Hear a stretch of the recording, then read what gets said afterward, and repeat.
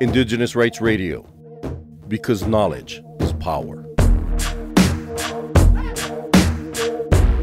It's such a great pleasure to talk to you. I'm always encouraged and motivated when I see what you do on social media and the interest that you show in environment and matters that the government is not even considering. So thanks for what you do. Yeah, thank you very much. I really appreciate the comment. I'm humbled by it. David, as you know, I tried to get my head around the just energy transition plan of government simply because yes. we have an obligation to inform, but before we inform, we must understand. Yes. Can you please just introduce yourself to our listeners? Give a little of your background, as much as possible, probably, and then just explain the just energy transition plan of the South African government. My name is David van Wyk. I'm the lead researcher with the Benchmarks Foundation. The Benchmarks Foundation is associated with the South African Council of Churches, and it was created by Desmond Tutu, um, or launched by Desmond Tutu, with the purpose of looking at uh, corporate social responsibility in South Africa post apartheid to see whether my companies uh, behave better after apartheid than what they did during apartheid, and whether they are responsible to the country and its people, or whether they are just interested in making a big profit. Uh, I've been doing this work for 20 years. Most of our focus has been on mining. um, reason being that about 45% of South Africa's exports are mineral related, and many of its imports, uh, almost half of its imports, are also related to mining. And um, we are in interesting times because mining is in steep decline, despite what the Minister of Minerals and Energy is saying. Uh, minerals are not renewable, and so uh, you know the minerals that are available are becoming fewer and fewer because we are mining and export exporting them at an alarming rate. So many of our gold mines have closed down, and many of the large scale mining companies have left the country already. BHP Billiton, Anglo Gold Ashanti. And we see at the moment uh, in the takeover bid by BHP Billiton of Anglo that Anglo itself seems to be disintegrating before our eyes. Now, we are also concerned with energy issues because coal mining has a severe impact on the environment. It has a severe impact on people's constitutional right to a health and safety, say, healthy and safe environment. And you know, it has a severe impact on our river system and water and water quality and air quality and so on as well. Now, to come to the question of a just transition, I think that it's important that um, we go beyond the limited view of government regarding a just transition. And it shouldn't just be a just transition in energy, it should also be a just transition in the economy because we need to move our economy beyond mining. We need to step up a level in our economy because uh, many mining towns are busy dying because the minerals are running out or the minerals are no longer profitable to mine. So, for example, uh, the platinum mining industry was based on catalytic converters. 90% of platinum was used to, to catalytic converters for petrol engines or diesel engines to reduce the lead uh, pollution that comes from those engines' exhaust systems. And so, as we are moving now towards electric engines for motor vehicles and and and, and transport and so on, uh, we find that there's no longer a demand for platinum, and so the platinum price has never recovered since 2009, and many platinum mines are now also busy closing down. Um, interesting to note that when BHP Billiton made a bid for Anglo American, it did not want the platinum mines, it did not want the diamond mines, and Glencore also made a bid for um, for for Anglo, and uh, it did not want the diamond mines either. Now, when we talk about the just transition, we need to talk about all these dying mining towns. What is what is going to happen to all the employees that are being retrenched? And thousands of people are being retrenched as we speak uh, on the platinum platinum mine fields in the gold mining industry. uh, and so on. Uh, interestingly, coal mining uh, is experiencing a huge revival, copper mining as well. So, coal mining, because the Europeans are importing huge quantities of coal from South Africa now, uh, given that they have imposed sanctions on Russia, which was their usual supplier of coal. And um, the other thing, of course, is that South Africa uh, has copper mines. The copper mines are now being revived because the copper price has increased dramatically since 7 October 2023, um, since the attack by the uh, Israelis on, on Palestine. And so we are having a situation where uh, the demand for copper has rapidly increased, A, because copper is used in bullets.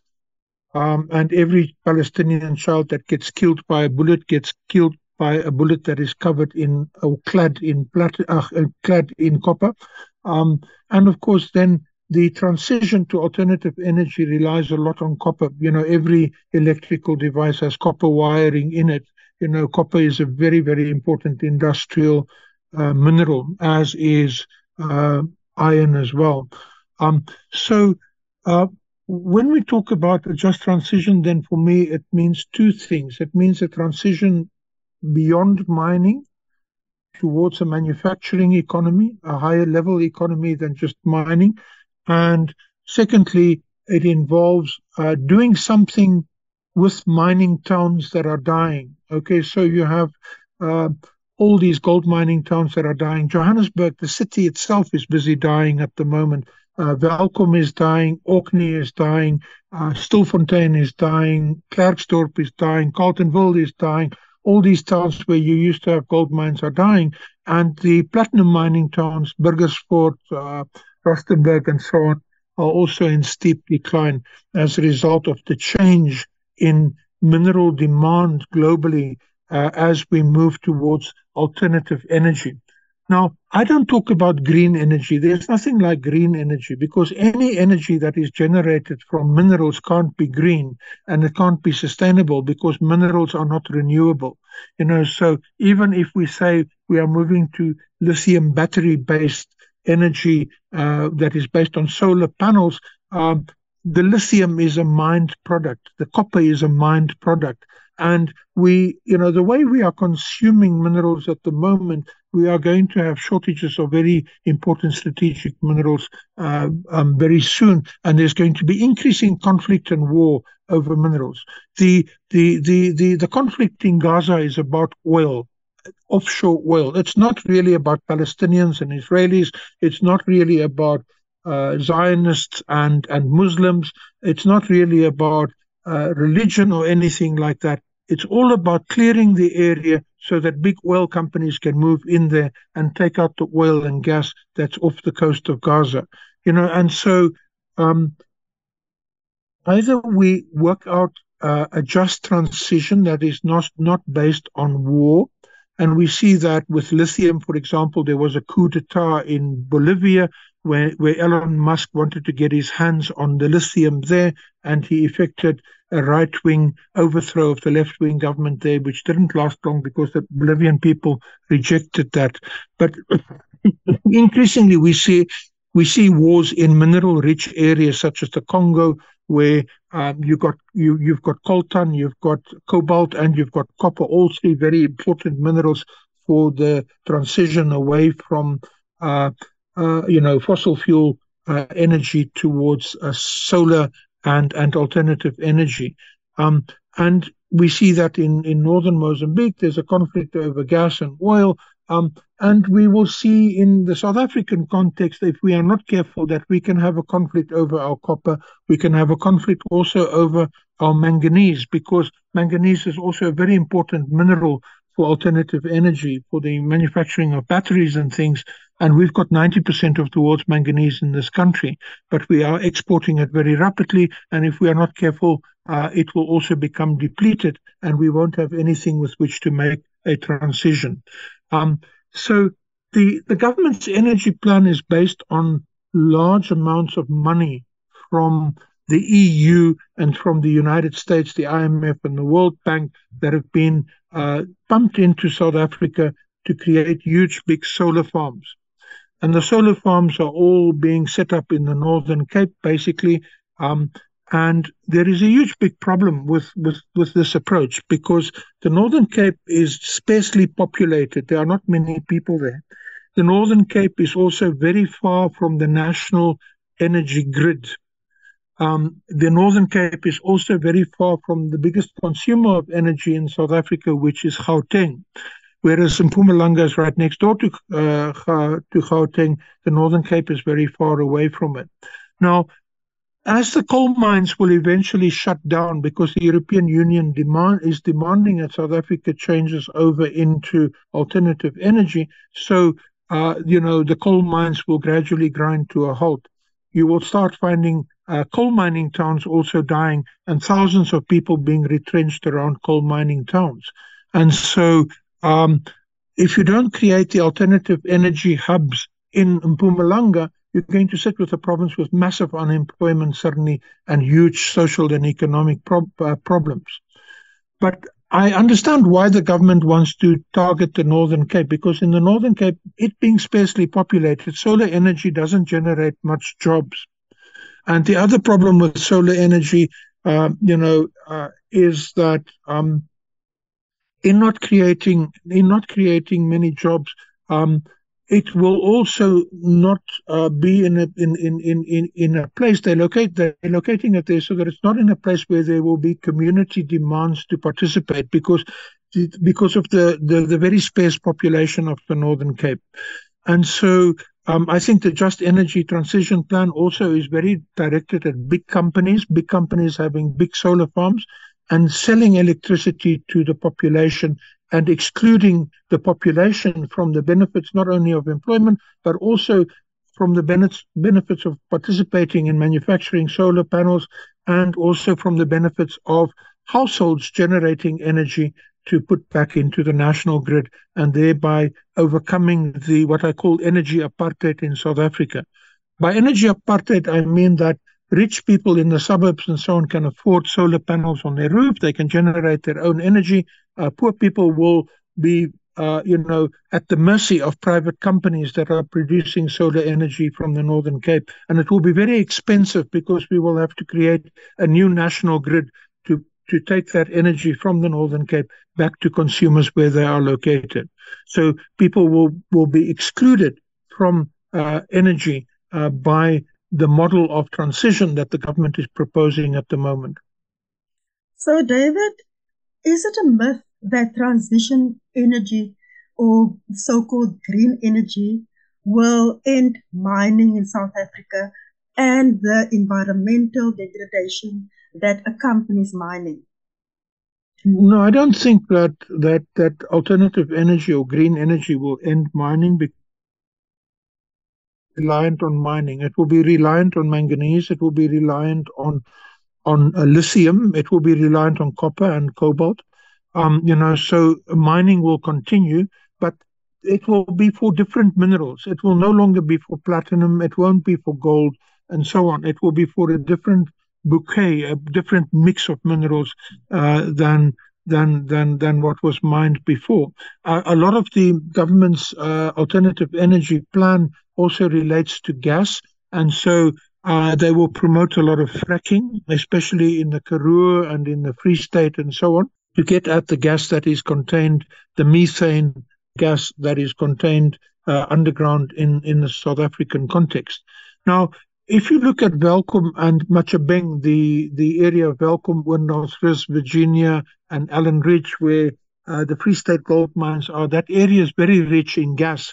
Uh, you will remember that a, a, year ago, 23 mine workers died in a gas, Zamazamas died in a gas explosion in one of the mines in Virginia, one of the old abandoned mines in, in Virginia.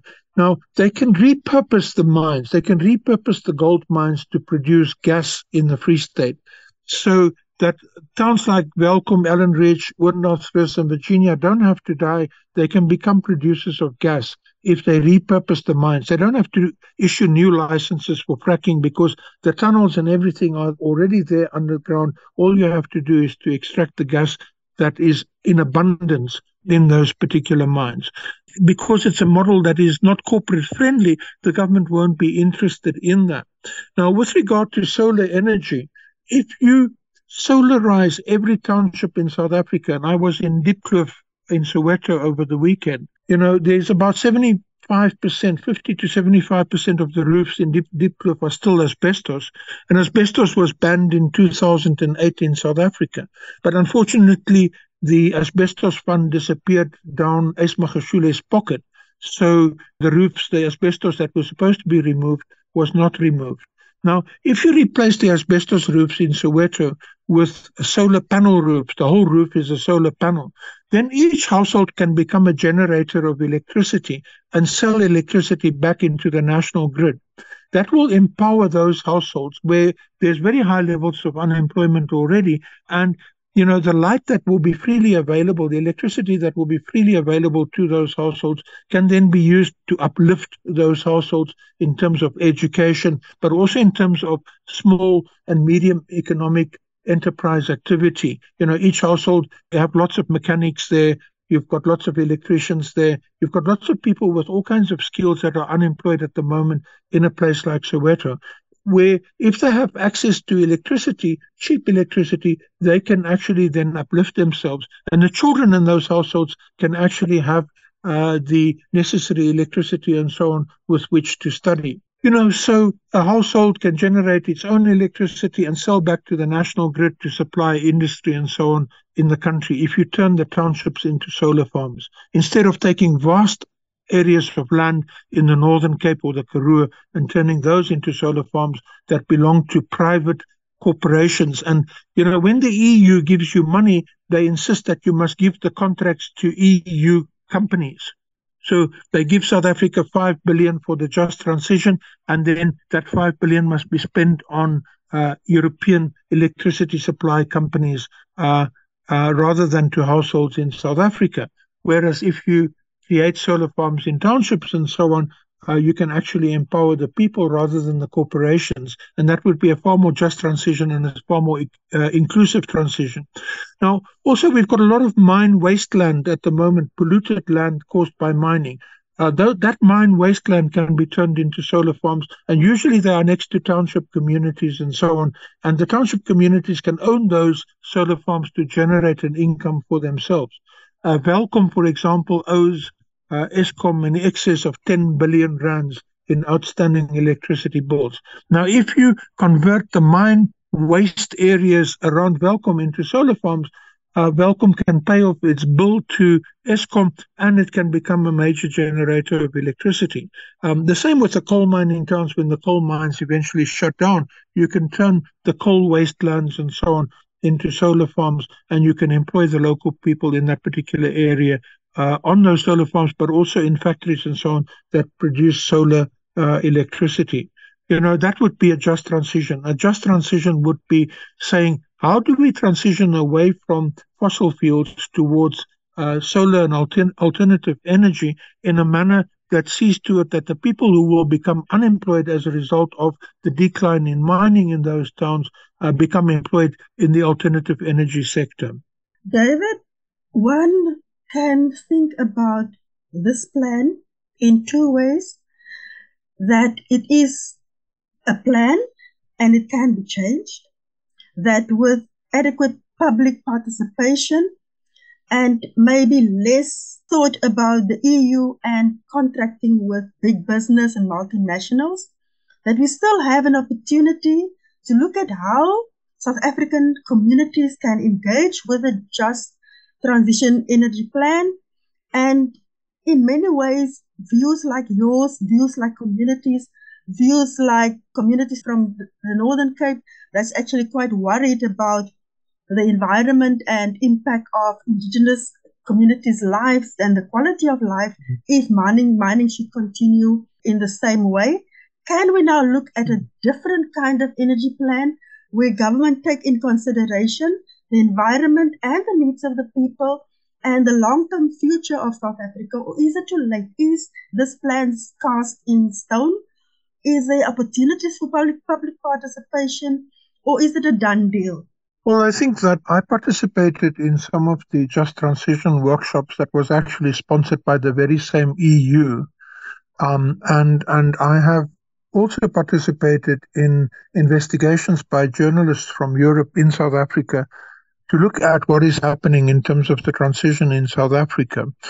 And I can tell you that at the EU just transition workshops that were held in the area of Kempton Park a couple of years ago, trade unions were there, NGOs were there, government officials were there, and so on. But ordinary community members were not there. That's the first thing. The second thing is that they did not take very kindly to alternative points of view in those meetings to the point where, you know, I, for example, was invited to one of those meetings and then never again.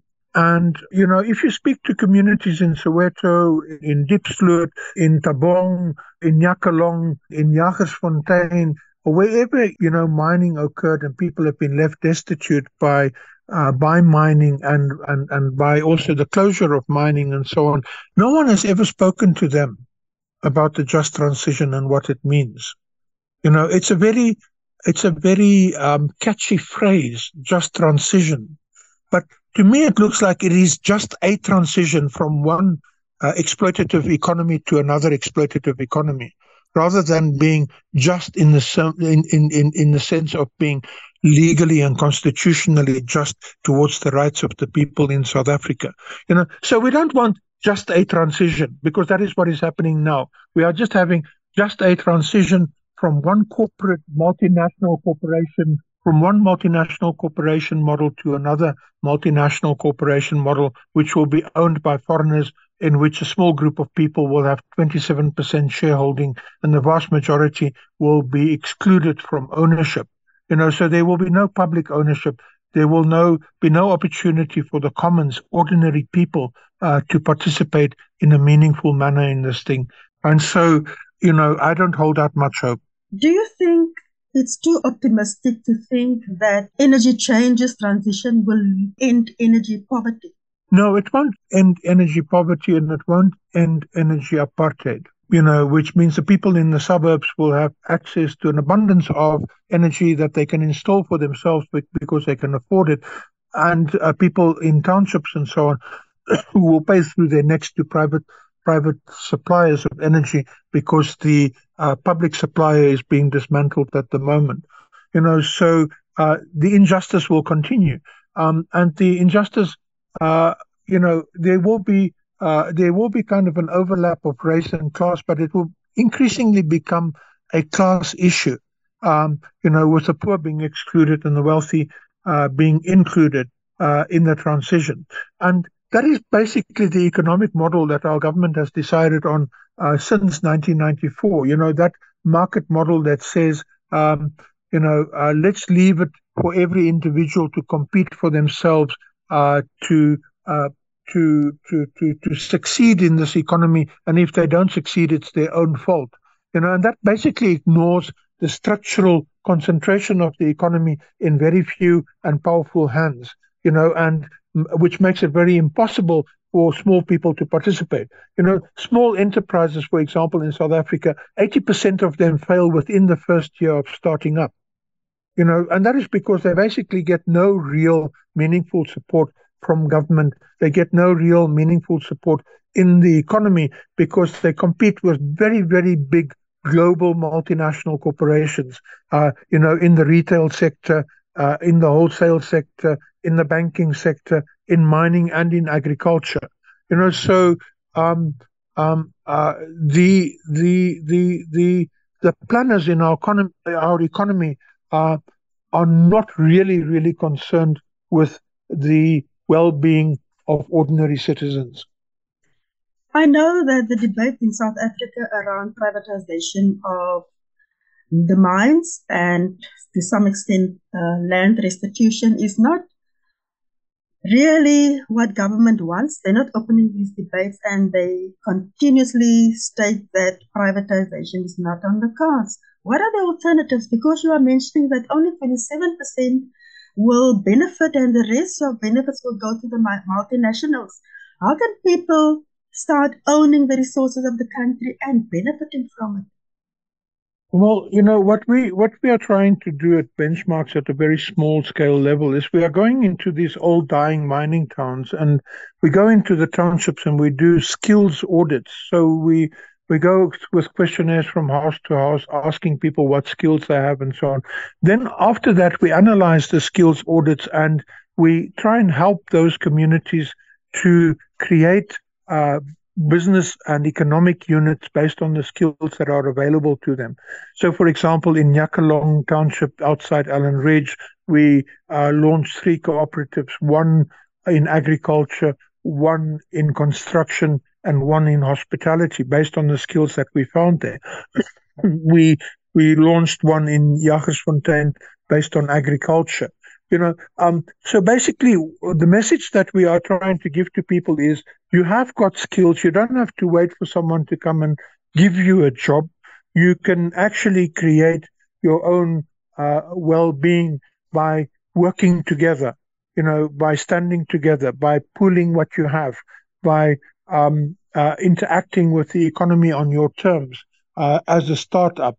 Now you know, with a just transition in energy, for example, if a community has uh, a number of people that are in construction and in electronics, for example, e- electricians and plumbers and, and bricklayers and so on, um, there should be an opportunity for them to be able to participate in such a transition in terms of, uh, you know, uh, getting the electricity into households and so on. But if you have the households owning the electricity, then those people with those skills can be even more valuable within those communities. You know, if you have a hospitality cooperative and it caters, for example, for government and other events, it needs to be able to cook. To be able to cook, it needs electricity. Now, if it has its own supply of electricity uh, that belongs to the people in that township, not to private companies, not to government, but it belongs to the people, to the households themselves, then um, you know they can they can meaningfully interact with with with with, with the economy. Um, the thing is that uh, if I was in the Department of Labor in government and in the Department of Economic Development, I would do skills audits all across the country. Remember, we're a small organization with very little money. Uh, we can intervene uh, in very small uh, uh, uh, um, um, ways. We can't really cover the whole country. We don't have the resources to cover the whole country. We're 10 or 11 people in the Benchmarks Foundation. Um, and so uh, it's very difficult for us to be everywhere all the time, all at once. You know, and so uh, our pace can only be very slow. But if but if I was in, in, in charge of a department of government, um, I would do skills audits right through the country. We hear that there's more than half a million graduates that are unemployed. Many of them are even engineers and electrical engineers and geologists and all kinds of other very high level skills that are unemployed sitting at home at the moment in the townships. Um, and we've come across them when, when we do our work as well, and when, when we do skills audits and so on uh, as well. Those people should not be unemployed. You know, those people should be involved in in in, in public uh, um, um, processes that deals with the challenges that are faced with the country. It's not that South Africa does not have work that needs to be done. You know, we need to fix our roads. We need to repair our hospitals. We need to maintain our schools and infrastructure. Um, we need to clean our towns and cities. Uh, we need to, uh, uh, you know, uh, we we need to uh, ensure that uh, infrastructure is maintained. We need to build dams. We need to uh, create grids and things like that. There's a lot of work that needs to be done in South Africa. But the private sector is not based on job creation. The private sector is based on the motive of profit. That's all that they want. They all want to make a profit. So, for example, in an agricultural cooperative, uh, a private sector farm will employ high levels of technology that will not be job creating. Uh, one one driver of a tractor takes away the work of 20 people who could have tilled the land by other means, for example. You know, so the cooperatives that we are working on in Jagersfontein and Nyakalong and so on, we are recommending to the people there that let us not use uh, capital intensive technology. Let's use labor intensive technology so that more people can work rather than fewer people working. Um, you know, and and and and the, the the loss of jobs and so on. Um, and and that is the approach that we should take. We should actually mobilize the people of South Africa in a way that uh, can involve them meaningfully in the in the economy, um, um, based on what skills and experience they have. For example, in Jagersfontein, there are not many people who've got formal skills, but most of them have worked on farms and they, they know farming and agriculture very, very well. They're very good at growing their own food and vegetables and that sort of thing. And, you know, we should utilize that sort of thing by, by creating that cooperative that can supply um, uh, vegetables and so on to the local supermarket uh, where people are buying the vegetables and so on from, or supplying milk to that supermarket or other agricultural produce. So it would require that, apart from the skills audit and creating the cooperative, transacting offtake agreements between local businesses and the cooperatives that are job creating in the area. So if there is to be construction, like in Jagersfontein, for example, with the houses that were destroyed, uh, a construction cooperative could easily build those houses, but the mining company simply went and got contractors from outside to come and reconstruct the houses, and the population whose houses were destroyed uh, are sitting there passively unemployed and watching how these houses are being rebuilt while uh, they themselves are still unemployed. So, David, once again, it is up to communities to create space for themselves to benefit from, especially the energy transition. And as you've mentioned, other opportunities that may come around to not only have a job, but improve their quality of life. Yes, I think that we should work towards uh, social and economic development rather than economic growth. So, when a person engages in work, they should be engaging in work to improve their quality of life as an individual, but also to improve the quality of life of the people around them. You know, so um, when I go into a job, I should not go into a job in competition with my community, in competition with other people, but rather in a manner that will uh, uh, uh, raise the standard of living of everybody around me. You know, and and and and and unfortunately, that model of, of economics is not being taught in our schools. That model of economics is not being pushed by by by the media.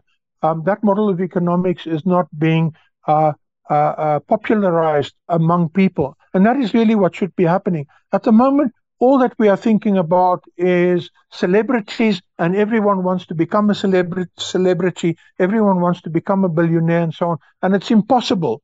You know that economic model of what uh, Montage calls the cream rising to the top is a nonsense model because it actually leaves a thin layer of cream at the top, and everything below it is in misery. Anything else you would like to add? Well, I really think that we need to get into a discussion all over the country to change the narrative.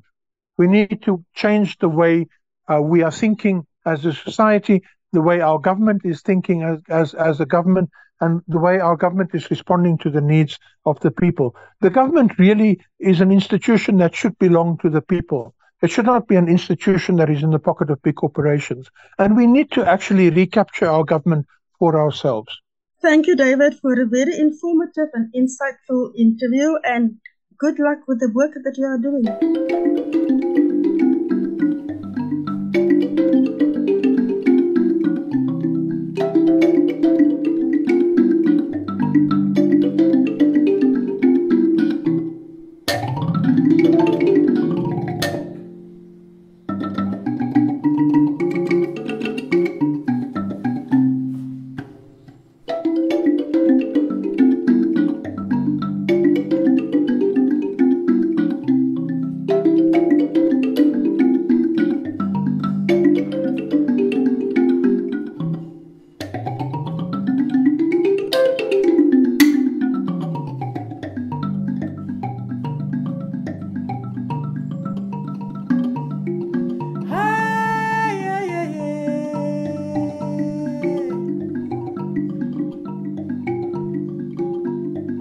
Jamhuri Tanzania, nchi yetu ya busara. Wayo wayo wayo Nyakalonga we ahe.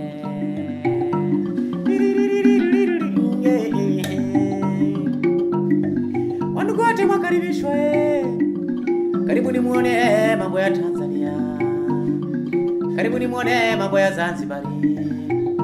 Zanzibari ni nchi amani, wote mnakaribishwa hey.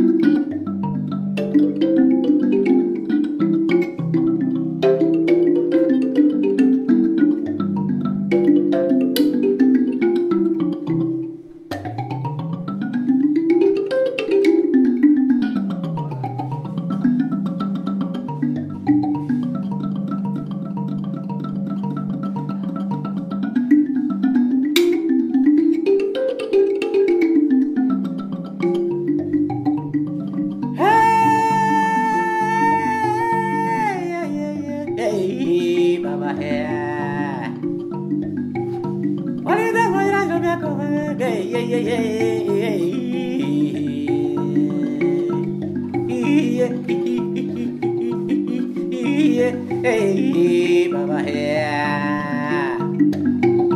Nyamala mwana kwetu Nyamala, wandugu wapenzi, tumekusanyika hapa kuimba nyimbo za kusifia Tanzania, kuimba nyimbo za kusifia Zanzibari.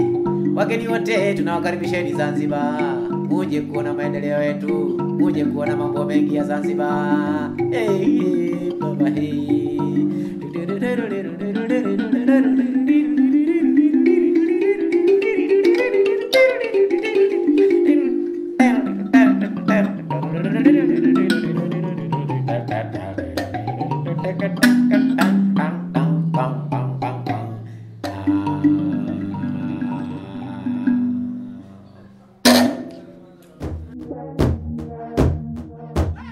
Indigenous Rights Radio, because knowledge is power.